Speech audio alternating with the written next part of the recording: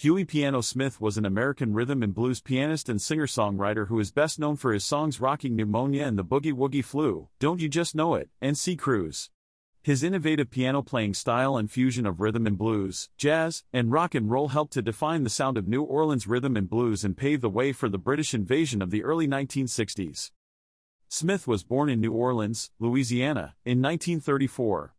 He began playing piano at a young age and was influenced by the work of Professor Longhair, Pete Johnson, Meade Lux Lewis, Albert Ammons, Jelly Roll Morton, and Fats Domino.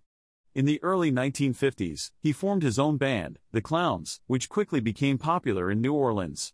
In 1957, the band signed a record deal with Ace Records and released their debut single, Rocking Pneumonia and the Boogie Woogie Flu, which became a huge hit, reaching number 1 on the Billboard R&B chart. Smith followed up with a string of other hits, including Don't You Just Know It, Sea Cruise, and High Blood Pressure. He continued to record and perform throughout the 1960s and 1970s, and experienced a resurgence in popularity in the 1980s, thanks to the release of the film The Big Easy, which featured his music.